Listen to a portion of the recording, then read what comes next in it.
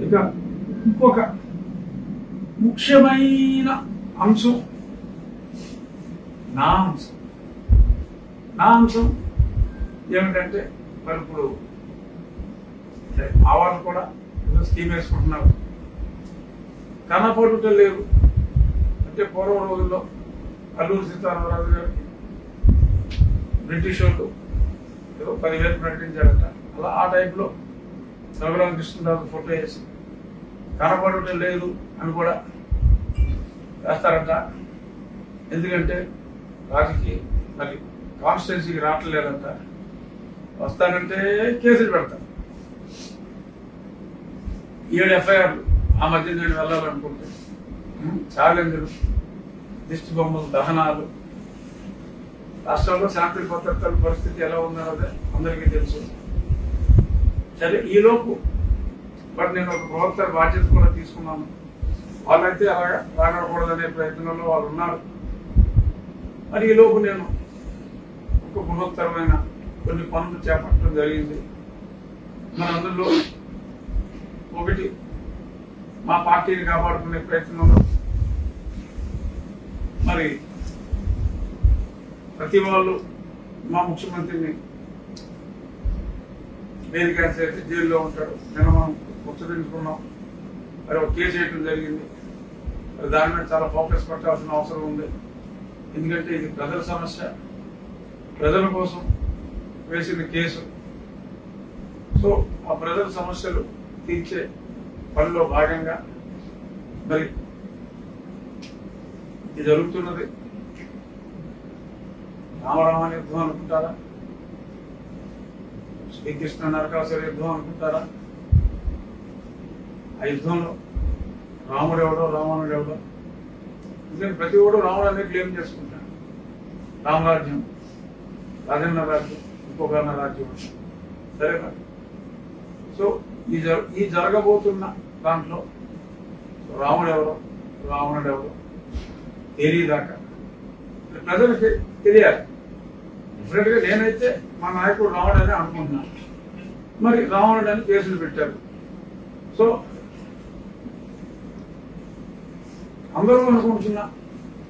అందరూ అనుకుంటున్నట్టు అతను రావణుడో రావుడా అది తేలాల్సిన అవసరం ఉంది కాబట్టి అది తేలే వరకు అది నేను తేల్చే వరకు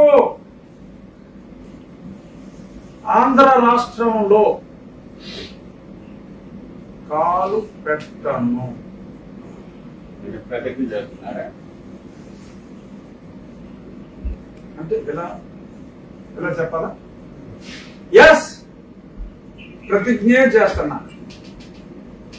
పాలకుడు రాముడని నేను అనుకుంటున్నా. రావణుడని ఎంతో మంది అంటున్నారు.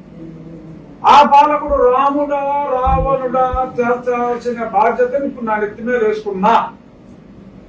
అది తేలే వరకు ఎస్ నేను రాను. ఆంధ్రదేశానికి రాను. మీరు కనపడుట లేదని వేసుకుంటారా? ఇంకా ఏదని వేసుకుంటారా? ఎలాగో ఎంతో మేసేస్తున్నారు. అలాగే పశువులు చేసే గడ్డి కూడా రాష్ట్రం నలుమూలలా నా దిష్టి బొమ్మలు తగలెట్టుకుంటారా? అది మీ విజ్ఞతగా వదిలేస్తున్నా. ఇది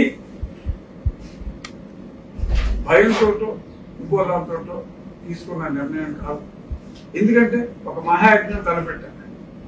ఇది ఒక సర్పయాగం. సో దానికి నేను అక్కడికి వచ్చి మీరు నా టైం వేస్ట్ చేసి మీరు చెత్త కేసులు పెట్టి ఈ మంత్రికి తోటి కేసులు పెట్టించి ఏదో రకంగా అరెస్ట్ చేయాలి అని చూస్తున్న ఈ వ్యర్థ ప్రయత్నాల్ని పక్కన పెట్టుకోండి. ఎందుకంటే నేను అక్కడికి రావట్లేదు. రానని ప్రజలకి మాట ఇచ్చాను ఇప్పుడు మీకు మాట ఇస్తున్నాను ఇకపోతే ఇంకొకటి అంటే నిన్న మీరు కాస్త ఫ్రస్ట్రేషన్లో అంటే మిమ్మల్ని ఎవరైనా భయపెట్టారా? కేసు వేసినందువల్ల మిమ్మల్ని ఏమైనా ఇది చేస్తున్నారా? హెచ్చరికలు నిన్న అయితే చాలా కాల్స్ వచ్చినాయండి నా చేస్తున్నారు వల్ల. ఆ క్యాన్సిలేషన్ చేసిన తర్వాత you can see my phone చాలా మంది చెప్పిన ఫోన్లు చేశారు. కొన్ని ఎత్తా కొన్ని ముందే ట్రూ కాలర్లు వస్తాయిగా పేరు చివర అని. సో అవి కొన్ని ఎత్తలేదు. కొన్ని ఎత్తా సరే ఏదైనప్పటికీ అన్ని నోట్ చేసి పెట్టా.